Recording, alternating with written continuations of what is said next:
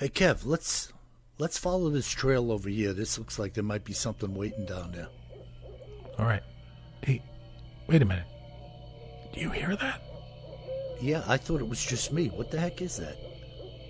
I don't know what that is. Whoa, do you smell that too? That's unbelievable.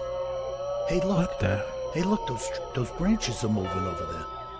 what the heck is that? Holy cow, is that what I think it is?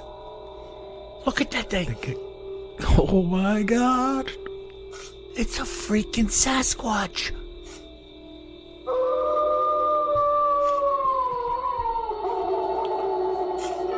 Welcome to the Bigfoot Terror in the Woods Sightings and Encounters podcast. I am your host, W.J. Sheehan. Hello, everybody, and may I welcome you and yours once again to our show. My name is W.J. Sheehan, author of the series of books Bigfoot Terror in the Woods Sightings and Encounters. Nine volumes available in paperback and ebook at Amazon. And in audio format, volumes 1 through 8 and soon to be 9 at Audible, iTunes, and Amazon as well. And now, may I introduce you to my flesh brother and co host, KJ Sheehan. Kev, how are you? I'm doing great. How about you, Bill? Pretty, pretty, pretty good. Was a beautiful. This is Sunday, folks. We're recording this on a Sunday. It was a great day, Kev. Great day. Did you have nice weather up there in New York? Uh, so so, 40s. You know, typical January for the region. Our our uh, mainstay this month of the year is 40s during the day, and that's where we are right now. Yeah, today we had uh, down here in North Carolina, it was 37 and raining. So Yeah. It was, it was chill that'll bite you, bite to your bone, you know? Yeah, the raw cold with the water. Mm. That that is uh, that's what tips the cart, boy. The water. exactly. And of course, dark and gray all day, you know. Yeah, well, it's dark and gray like some of our uh, stories Yes. in our podcasts Yes, a little dark and gray and gloomy. with black eyes. Yes. Yeah, so I was talking to my friend Mike, nurse practitioner Mike. I know you're listening, Miguel. And uh, he was getting involved in some sort of US UFO attraction project uh, this weekend. What does that? What does that mean? You're trying to attract UFOs? Yeah, he had something up his sleeve. He was getting involved in some worldwide attraction project, and uh, everybody had uh, a part to play. Uh, and he was inviting me, and I says, Mike, you can leave me out of that thing because you don't know what you're inviting into your neighborhood. Were they using a Ouija board? Yeah, well, it's, uh, you know, here's the thing, folks. And you can say what you will, and I know you will. I'm voicing my opinion. The laws of attraction, which are used scientifically uh, to solve many problems, also have the same effect no matter what it is you're trying to attract. There are laws that are in play, like gravity, like playing with a planchette on a Ouija board, like going down to Shinnecock and trying to lure in some UFOs. There's all kinds of things that can be attracted in different ways to different people. I mean, are they whistling for them and skipping stones, or Yeah, I'm not sure what he was doing, but I don't care if you're whistling Dixie or uh, drinking a six pack and smoking a Macanudo. Uh, you better be careful because uh, you may not like what presents itself to you. I could go for a Macanudo now that you mention it. Yeah. yeah, yeah. A Macanudo's okay as long as there's no hitchhikers attached to it. No, no. You know. Yeah. Oh, so well, you have to let me know how that works out for Mike. well, I don't know, Mike. If you're listening, I'm uh, expecting a field report from you. Exactly. and if Especially not- if you get picked up by a UFO Yeah. and go for a little ride, we'll put you on the podcast. Yeah, yeah, yeah. If he doesn't answer me, he may be no more.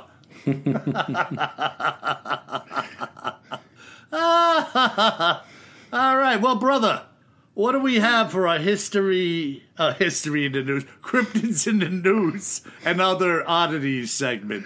Yeah, you're throwing me off with the history lesson. That's a different podcast. Yeah, yeah. Yeah, we'll Well, Bill, I figured it was pretty chilly around the continental U.S. lately. Uh-huh. So it might be a good time to go to Hawaii to get the creep on. no kidding, Hawaii, huh? Hawaii, yeah, we're going to talk about the legend of the Hawaiian Night Marchers.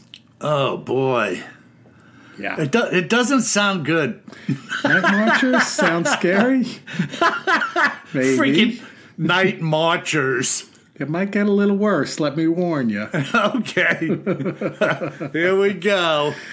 But it's uh, pretty cool, and uh, a lot of the information I'm going to talk about here comes from our friends at How Stuff Works. So uh, they did some pieces on the Hawaiian Night Marchers, as well as the local newspapers in Oahu, where a lot of this takes place, which is you know the the little island of Oahu where uh, Pearl Harbor is, and Waikiki, the old Hawaii Five O scenes there with Diamond Head in the background. Dun,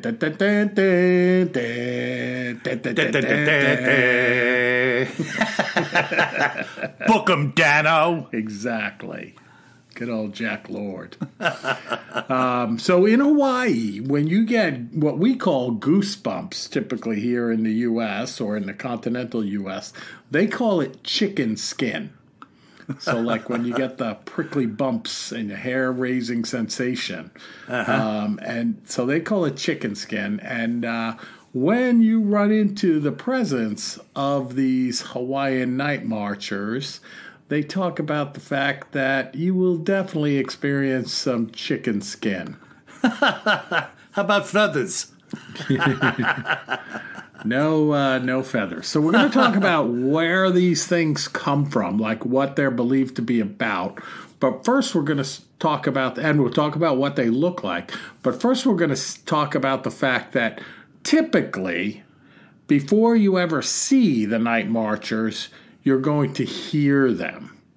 So they are marchers. So they come walking along these spirits. They are not earthly beings.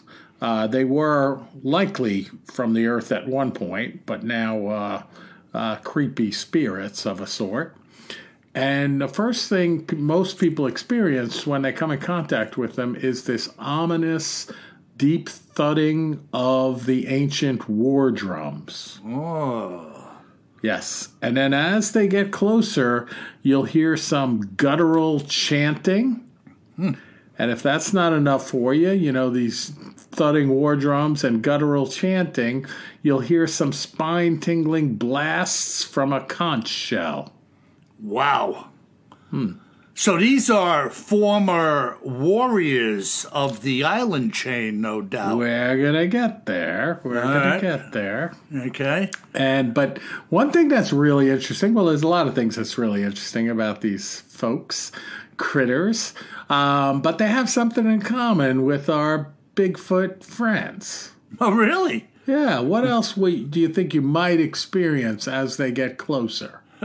I have no doubt. Red eyes. No, no, no. This is what you would experience, like one of Oh. your senses. Oh, the sense of uh, fear. No, the stank. Really? They A have stench stank? of death might have stopped your nose. Good guesses on your part. But I was going for stank. and more specifically, stench of death. Or as our, the late Alex Trebek would say, what is a stench of death? Correct. You have five thousand dollars. Excellent. I'll trade that for an autographed copy of the book. And then, so so you hear them, uh, you hear the drums, you hear the chanting, you hear the conch shell, you start to smell death. And then you will start to see a succession of torches, flaming torches, winding towards you in the darkness. Oh man, I think it's time to go. you know what I mean, man? I wish I had those little drums again, Kev. Oh yeah, like when the legs, Scooby-Doo. yeah, when the legs start booking.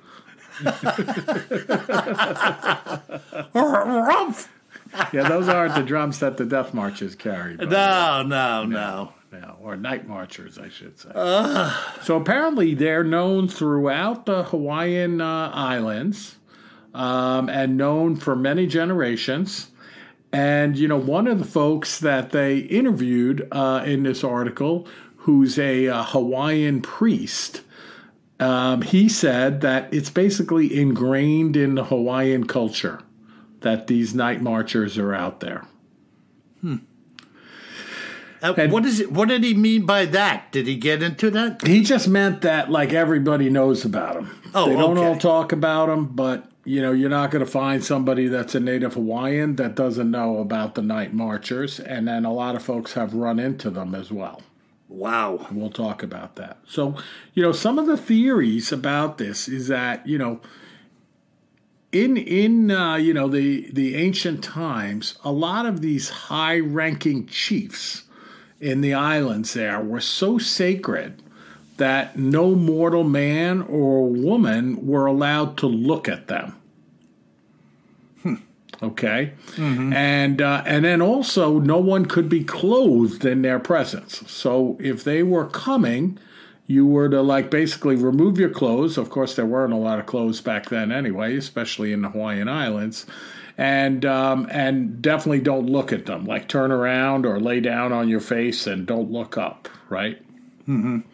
And then innocent bystanders who would stumble upon this procession, like when these uh, royal folks were moving around from place to place, they, and if they didn't know the, the rules or they didn't see them coming and then saw them and looked at them and had their clothes on, they would be killed. Oh boy. Right. Immediately. Like, no What kind of asked. death are we talking about? Uh, you know, they talk about a bloodbath. So I'm thinking it's like spears and uh, some type of uh, bamboo sword or something, but they don't talk about it. But that's what I'm thinking of. Not like a predator jumping out of a tree limb and just doing you in. No, no. More brutal. To make an example of you for not respecting the uh, the uh, royalty. You know, they don't call it royalty, but basically, you know what I mean. Mm-hmm. Right. Unbelievable. Um, so, so they do talk about. It's interesting that some of the more kindly nobles uh, took to traveling at night in order to avoid being spotted by commoners. Right. So, like if you were one of the nicer noble folks and didn't have a screw loose upstairs and liked to see bloodbath. You might say to your troop, "Hey, you know, let's travel at night, just so that we're less likely to stumble upon anyone." And um, so that tradition of traveling at night is carried on in the afterlife. So hmm. this is the night marchers are doing this march at night when people come across them because they don't come across them in the daytime mm-hmm. because they would be the ones that would often march from place to place in the dark. Hmm. So pretty interesting, right? Like it comes comes across with them. Yeah, but it almost seems kind of odd that if you were in a position of authority, uh, to travel at night uh, might leave you open for an attack from, say, like something like a coup. Yeah, uh, of course, but remember, there's nobody. You know, you're you're right, Bill. That could happen, but it could also be safer because everybody's sleeping. right? I mean, seriously, if no one knew your plan, Yeah, you know, but if somebody knew your plan, yeah, it'd be easier to ambush you. yeah, absolutely. So, you know, one of the big questions we always ask with the hairy man is how do we see one of these? And, you know, when in fact do they come out? So it turns out that um, they're tied off. They believe that they're tied to the cycle of the moon. Hmm. So they tend to appear mostly during the last four phases of the moon in Hawaii. So as the moon wanes to blackness, they seem to prefer to come out then. And they come to sacred sites and notable cultural spots. And again, mostly on the island of Oahu, but not exclusively on the island of Oahu. And nobody makes any ties uh, between them and Oahu? Not not the place itself. No. Okay. Okay. But I also think, Bill, as I was reading, you know, these different articles and sources about this, is that I think maybe, you know, Oahu's the most populated island. So it could be that they're seen more there or most often there because there's people there to see them. Mm-hmm. You know, a lot of the islands are pretty rural, especially outside of the resorts. yeah. You know, Yeah. Like you're you're on uh, like Oahu uh, and Waikiki, like where you know the old uh, Hawaii Five O was filmed, looking down the beach at Diamond Head, that old dormant volcano. I mean, that's like Manhattan to me on uh, the Pacific Ocean. You know, it's it's a big city. I don't know what the population is, but I've probably been there about ten times, mostly for work, and it's it's a really busy city. Yeah, no doubt about it. I knew a fellow that had a piece of property on uh, Molokai, Okay, yeah. and uh, he was living over there like uh, Robinson Crusoe. Yeah, Molokai is one of the pretty rural islands, mm-hmm. from my understanding. I've never been over there. I heard it's a good place to hang out if you're a wild boar. Yeah. You're talking about somebody who's not good at parties? Not that kind of boar. Oh, I'm sorry. I was thinking the one with tusks.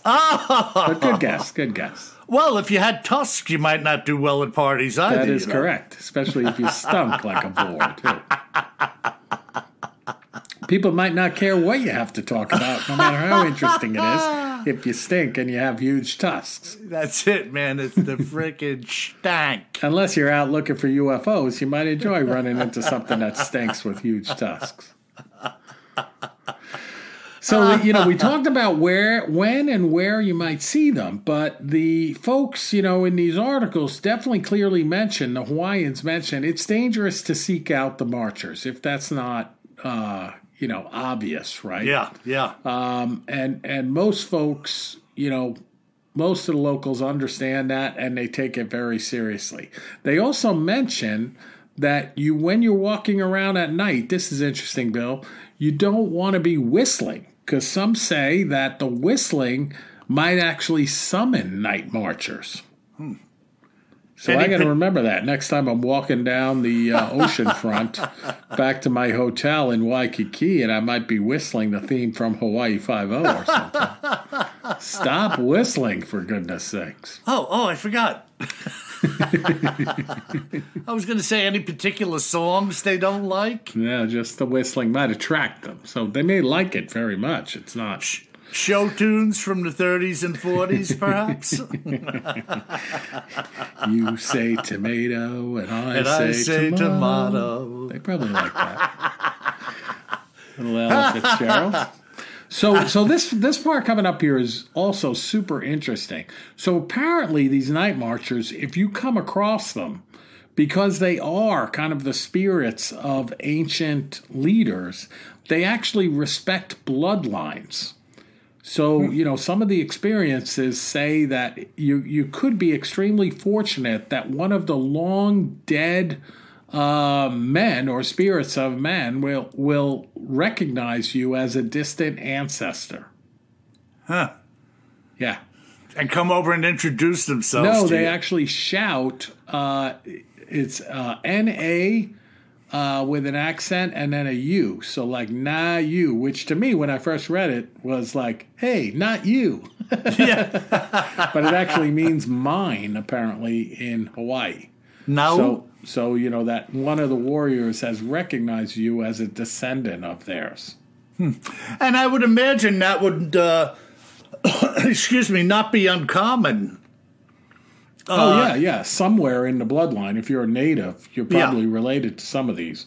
Now Yeah. I don't know how common it is that they actually recognize you as a descendant. Now, so so it's pretty interesting. They say now, if you don't share blood with any of the warriors, you'll be left with only a few choices. Hmm. As legend goes, you must strip off all your clothing immediately and lay face down on the ground. And close your eyes and play dead. And you're going to laugh at this next part. For good measure, urinate uncontrollably. Oh my God. well, the idea is to convince the night marchers that you have nothing but fear with respect to their presence. Wow. Yeah. Oh, yeah, yeah, yeah, yeah, yeah. I'm writing yeah, this down. I'm going to have to put it in my travel notebook. yeah. Make I sure guess, you. I, I guess I should drink a lot of water too when I'm going out for a walk. yeah. and don't wear many nice clothes. Yeah. You know. So this this gentleman that they interviewed says that he once personally encountered the night marchers. Mm-hmm. And he says that he was in a Chinese cemetery on the island one night and he was leading a ghost tour.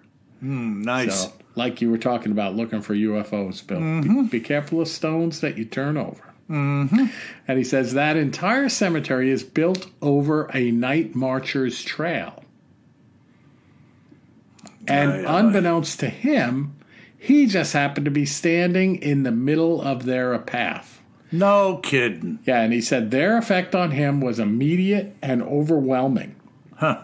He said it was like being encapsulated in a bubble. The sound was gone. He said I could see the wind moving in the trees around me, and I could see the tall grass blowing, but I couldn't hear or feel anything. And he said, and then immediately he became extremely hot. Hmm. And he said later, after the event, he'd learned from a cousin that ancestors would likely have recognized him and surrounded him to provide protection from the other marchers. Hmm. Well, that's one thought. What do you think? I mean, we just got done talking about Yeah. it.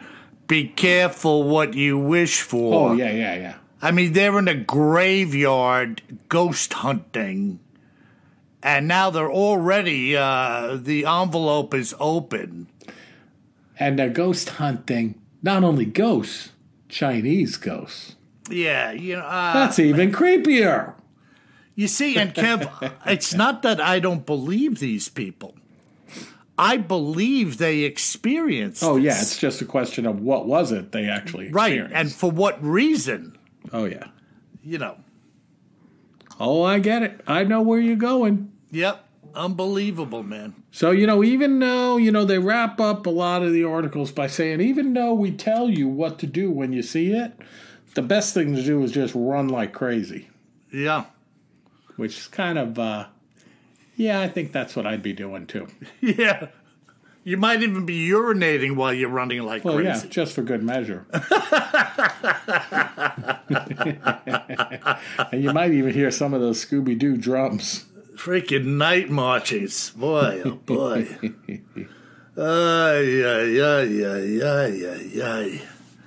Really, I, I mean, there's no end to it. No. There is a constant flow, uh, ebb and flow of uh, high strangeness around the planet. Uh, and here we are in the Hawaiian Islands, you know. Uh, there's other stuff I've heard of uh, relative to the Hawaiian Islands. Uh, we'll probably run across it on another day on another gig that we do Sure. but uh, there's a lot of weird stuff going on around there. Just you make sure you tell me about it before I go next time. yeah, nah, nah. You know, by the way, Data. What was the guy's name again from Hawaii Five O, Kev? Jack Lord. Yeah, Jack. They don't make fake cops like Jack Lord anymore. you know what I mean? Yeah. He had that slick kind of '50s DA haircut with the cool hair, man. yeah with the Vitalis, you I know, mean, it's not as cool as my hair, for example. which is not existent. oh, wow. This is a podcast. You don't have to tell everyone. Yeah, yeah, yeah, yeah. no, I always like those hairdos that don't move no matter Oh yeah, what even on the coast of Hawaii. Yeah, he could go out on a surfboard, He's out on the surfboard on the Banzai pipeline. get dunked, and he comes out and he's got perfect hair. Gives it a shake, and it's just like that. Yeehaw. Da, da, da, da, da. All right, Bill. So that's cryptids in the news and other oddities. And folks out there, hopefully, if you're in a really cold place like South Dakota, you know, just thinking about Hawaii, even with these creepy marchers, just warmed you up a little bit. Yeah, well, thanks for the warming trend. and if you don't mind, I'm going to throw a log on the fire. because what I'm about to read to you is frankly unbelievable. And let me get right down to it. This brief yet chilling encounter was told to me by Paige Saunders, who at the time was a resident of the state of Missouri. Here is what Paige found herself confronted with in April of 1995. In September of 1995, I had what I will describe as my first scare. If you would allow me to explain, I will.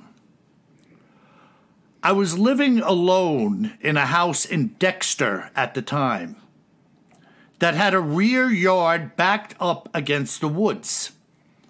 And beyond the woods was a swamp of sorts. My kitchen at the time had what I will describe as a three panel door, which led out onto my patio.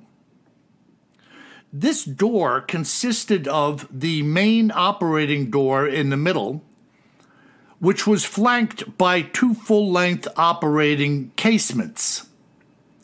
These could be swung open for ventilation and if I was burning my food, which was something I was fairly good at was in say, those sounds days. like that's not a rarity. Right, a little humor there on the part of Paige. the floor in the kitchen was made of real brick, so that it made absolutely no noise when walking on it with soft shoe bottoms or bare feet. Attached to the door, as well as these two side lights, were full length operational blinds. And when they were drawn, I couldn't see out, and you could not see in. I will also mention as I get going with this that then, as well as now, I keep a 357 Magnum in my house at all times for comfort and safety, if you catch my drift. That's a woman after my own heart. now, the doorknob on this back door was a little wobbly, but it was still functional. And it made a kind of rattling sound when you grabbed it. This was a sound that I was more than a little familiar with, having lived in the house for seven years with it making this noise. It was on a Friday night. I was alone watching TV. When I was certain that I heard the doorknob rattle, I tiptoed into the bedroom and grabbed my gun and slowly made my way over to the back door where I grabbed the blinds and pulled them up quickly. And nothing was there. I swear to you that if anything or anyone had been standing there, they would have died, and I'm not fooling. It was then in late October when I was reading a book again at night that I heard the doorknob rattle once again. And just like the last time, I went and got my gun, snuck over to the door, and pulled the blinds open quickly. And yet again, nothing was there. This time, I called the police. When the police arrived, I told them what had happened in September and now in October. And I stated emphatically that there was a prowler around. I even grabbed the doorknob and rattled it to reproduce this very distinct sound that it made. He said, the officer, that it could have been the wind or any number of other things, even though I had said there was no wind, which was completely true. He then said to me that living alone, we can imagine many things in a house of this size. Mind you, my house was an 800 square foot ranch. so I don't know what he was talking about. It's a giant house. Yeah. If you At were any- a mouse. At any rate, he left. And I said to myself, good riddance. As I fast forward in my story to April of the following year, nothing else had transpired as far as hearing the doorknob rattle. It was yet again on a Friday night that I had a couple of my girlfriends over for some wine and cheese. The girls left around 11 p.m., and I was so wound up that at 2 a.m. I was still awake. When suddenly the doorknob started to rattle, but in a much more forceful manner than before. So hard was this rattle that I was sure it would break off. And so this time I ran into the bedroom to get my revolver. I was as I was making my way to the door, it was still rattling and my heart was now pounding. This time I actually tore the blinds down with my pistol pointing right at the glass. And at first all I saw was black. It took me but a heartbeat to realize that I should be looking at my patio furniture and not anything black. Mm. And my eyes immediately looked up when, to my horror, I was face to face with a monster whose head was leaning down under my rain gutter. I pulled the trigger blowing out the glass and moldings, hitting this bastard from hell square in the abdomen. And I followed it with bullet number two and three as it was turning. I had hit it full on with three 357 rounds and it didn't fall. As I flung the door open, it was halfway across my backyard heading for the woods, and I pumped the last two right into it.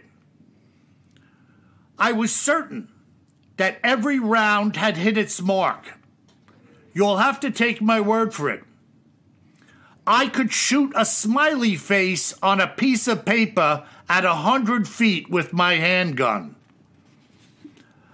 I ran back into the house to reload, and when I returned, somebody was pounding on my front door screaming my name. As I opened the door, it was my neighbor Dave and his wife Carla and Dave had his shotgun in his hand. He asked me if I was all right and what the hell I was shooting at. And I took them to the back door. Three minutes later, the police were there in force, David having called them about shots being fired. As you would imagine, with the arrival of the police and Dave and I standing there with loaded weapons, it was pretty hairy there for a few minutes until things got sorted out. All of us were now by the back door, which was blown apart, glass and trim work laying everywhere. And we were now looking at all the blood on the doorstep and leading off the concrete patio. I told them of my previous report and about the doorknob rattling on a number of occasions. This night, I told them, when I pulled the blinds down, The entire view of my patio was blocked by the body of this monster when I looked up. And his head was higher than my gutter on the back of the house. I told the cops that I nailed this thing with three rounds at less than five feet distance, and it was still able to run. Hitting it again with two more rounds across the backyard. That night, everyone and the brother was combing the woods behind my house looking for a body, be it human or otherwise. Nobody, including myself, could believe, based on the amount of blood, that anything could have gotten very far. And yet nothing was found. My neighbor nailed a piece of plywood over my back door until I was able to have it fixed. And I actually moved into a hotel for a couple of weeks. Looking back on the night, the body of what I believe was a Bigfoot, which I now know it was, was wider than the door and much wider than the door as you looked up at it. I couldn't see any of my six piece patio set. That's how much glass its body was consuming. When I looked up, my eyes locked onto this evil looking toothy grin that it was making. And that's when I pulled the trigger. Better him than me. That's what my daddy taught me. What do you think of that? Wow, that was action packed tonight, Bill. You can't get any freaking crazier than that.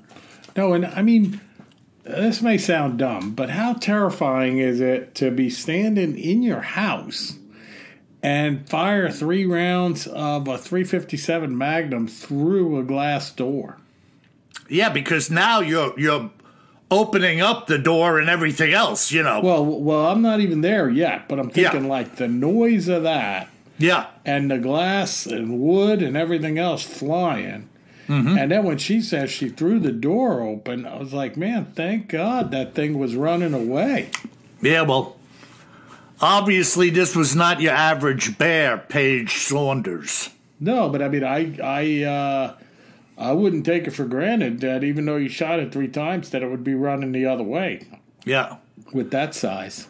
Boy, oh boy, oh boy, oh boy. I, I mean, look, man, by the time you're in that, first of all, anybody who lives alone, uh, particularly a female, who decides she's going to have herself a handgun and chooses out of all the nice little handguns laying in the display case a 357 and is well practiced with it to the tune of her saying she could shoot, shoot a smiley face at a hundred feet, whatever that meant.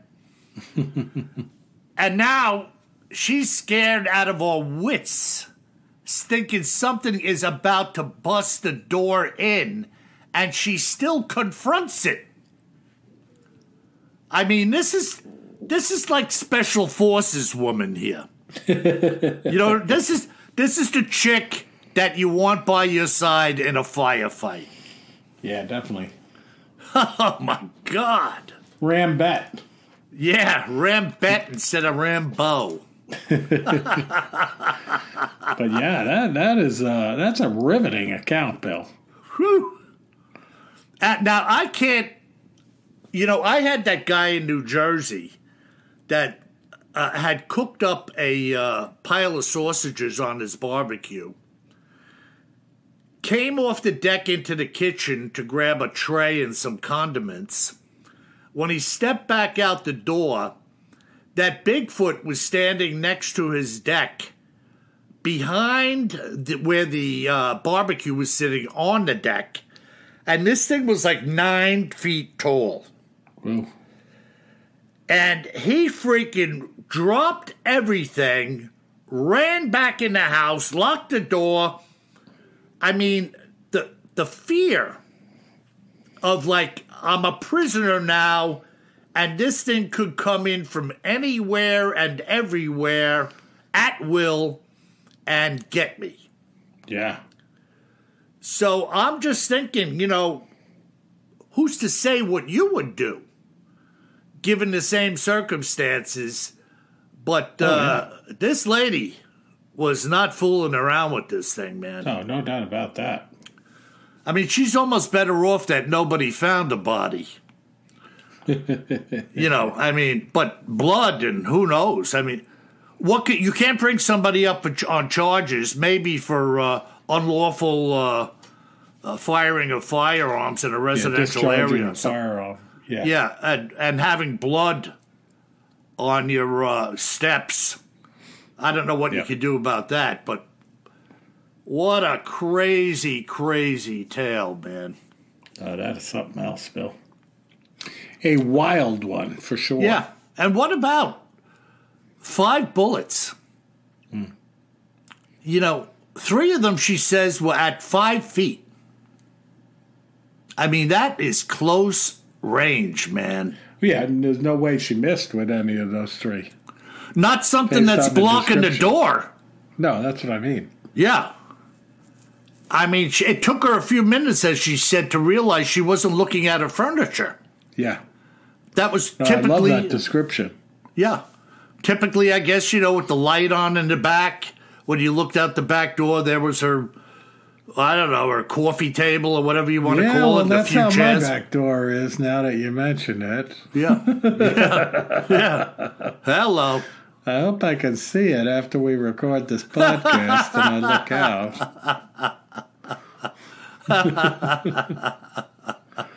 I'm just saying.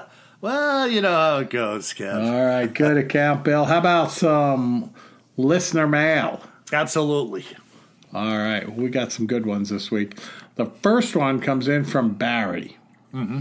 And he says, I heard you recently on two three year old Sasquatch Chronicles episodes and started to get your books on my Kindle.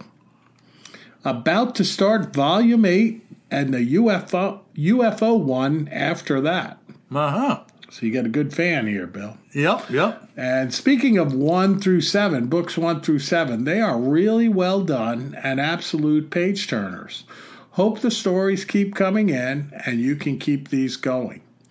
If you don't mind me saying, I can see in some of the some of the stories a book of books in their own right.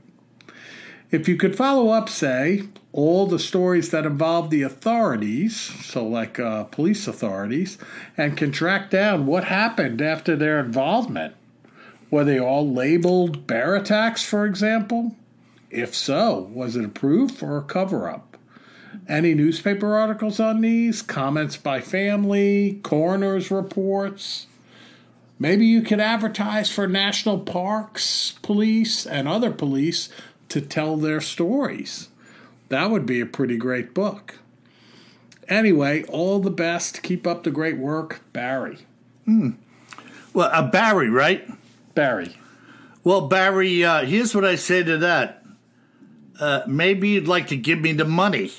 Oh, come on. That's great. Listen, he, he bought seven books. Yeah, yeah, yeah. Yeah. But uh, the truth be told, Barry, there are not enough hours in the day uh, for me to take care of what I'm currently taking care of. Yeah, but it's a good it's a good idea, Bill. I like the idea of just going deeper on some of these. You know, you know, again, it's hard to do both. Having new accounts being published, of course, converting uh, written work into audiobooks. I know how much time you spend on that in uh, professional studio uh, and getting it into uh, Audible on Amazon and jumping through all their hoops. Um, but it is kind of interesting to do a deep dive on one of the accounts, you know? Yeah, well, it is interesting.